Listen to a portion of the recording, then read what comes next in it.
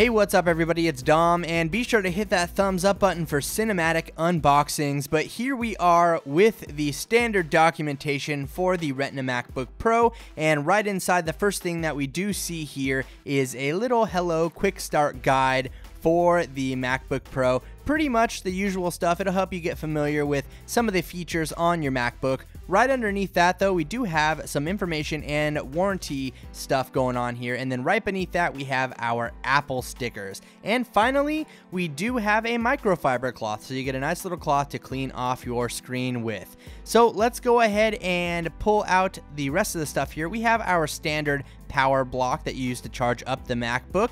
And the next thing we have here is the extension cable to extend that power block in case you need a little more extra room to get to the wall. So enough of what's inside the box, let's get the plastic off here so we can run some benchmarks on this MacBook Pro. Let's peel off this plastic, get it off really quick here, and then we can finally move the plastic out of the way and get into this guy. So let's open it up here, and as you can see, this thing is just thin and beautiful, and we will be running some benchmarks, like I said, on this guy. So let's go ahead and power it on by pressing the power button on the keyboard there, and we have the MacBook startup for us and I'm gonna go ahead and set it up and everything with all of my information and get it all ready to go here. So we are going to be running three tests. We are going to be running Geekbench 3, we will run Cinebench, and we will run Blackmagic Disk Speed. So let's go ahead and get into that here with the Geekbench test first. We will hit run benchmarks and let this go. And if you want to see the full results, I'll be sure to leave a link to these benchmarks down below in the description.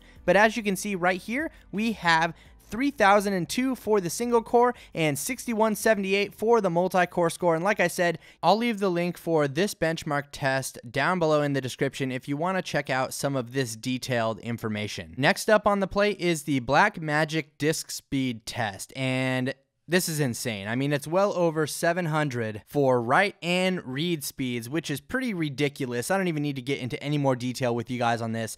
It is fast. Just take my word for it. Let's go ahead and jump over to Cinebench here and we'll run the OpenGL test and this just did okay. I mean this thing is packing Intel Iris graphics so kind of got an expected result here of around 21 frames per second which isn't fantastic but it is what it is. And coming around to the CPU test the dual core 2.8 gigahertz i7 processor scored a 303 but keep in mind the higher the number the better in this situation but I wanted to give you guys a quick overview unboxing and some benchmark results for this brand new late 2013 13 inch Retina MacBook Pro. This is, like I said, the 2.8 gigahertz model with 8 gigabytes of RAM, 512 gigabytes of storage, and Intel Iris graphics. So be sure to let me know what you think about this MacBook Pro down in the comments section below. And you can pick up one of these actually for around two grand, but there are models starting at